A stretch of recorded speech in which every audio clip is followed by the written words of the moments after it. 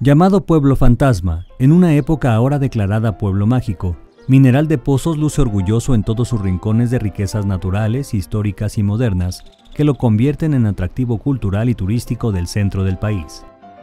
En Mineral de Pozos se ubica un lugar que destaca como taller de muñecas, manos creativas, está a cargo de mujeres de edad avanzada quienes las elaboran con los trajes típicos que distinguen a cada uno de los estados de la República Mexicana. Entre las muñecas que más se venden están la representativa de la China poblana y por supuesto la de Mineral de Pozos. Para admirar la historia y riqueza cultural de este lugar, se puede visitar la llamada Hacienda del Triángulo. Su patio principal, un lugar en el que alrededor de 1595 se extraían metales del corazón de la tierra, así como se realizaba el trabajo de beneficio. Igualmente se recibían materiales de otras minas.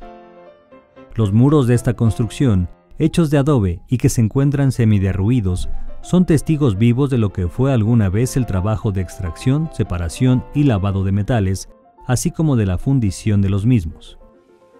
Un atractivo de la modernidad es el Hotel Boutique en Mineral de Pozos, el cual fue abierto al turismo hace ocho años y que por sí mismo ofrece el atractivo de poseer su propia cervecería artesanal, así como un servicio de temazcal en barriles de cerveza.